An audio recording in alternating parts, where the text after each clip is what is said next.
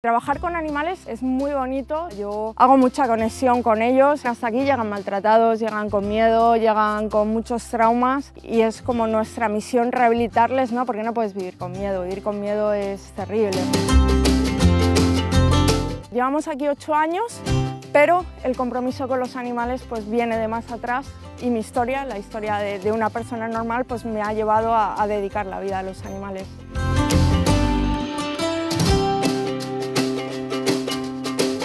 Soy Laura Luengo Mata, soy cofundadora y presidenta del Santuario Vegan. Tuve un conflicto muy importante cuando yo me di cuenta de la situación que vivían los animales. Yo estaba estudiando Bellas Artes, seguía estudiando, seguía trabajando para poder pagarme los estudios y yo realmente quería que todo mi tiempo fuera dedicado a ellos.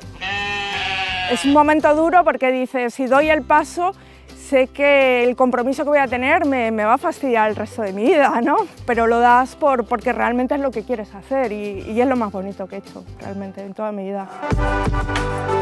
Cuando empezamos mi familia fue un shock, me gustaría que mis hijos hicieran algo normal, pero después de años lo ven bien.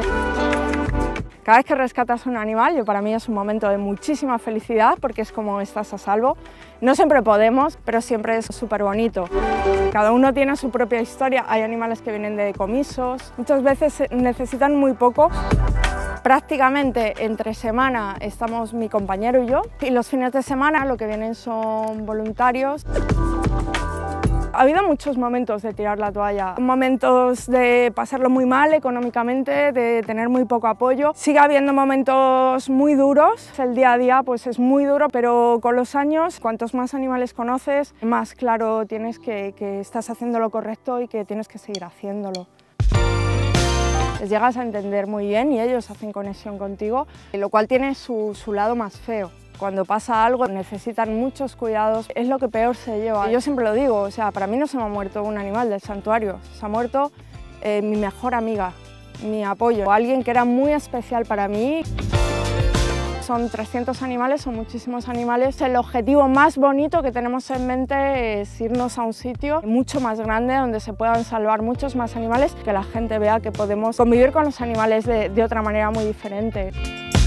Para mí es como un lugar de esperanza para, para, los animales. De vayas para adentro el mundo funciona de otra manera. Los animales aquí son alguien, son como nosotros, cada uno tiene su propia personalidad. Los mejores momentos están ligados a gente que nos ha ayudado y te ha dicho yo creo en ti y te voy a ayudar. Hay mucha gente aquí que, pues, que te respalda y que está también velando por los animales.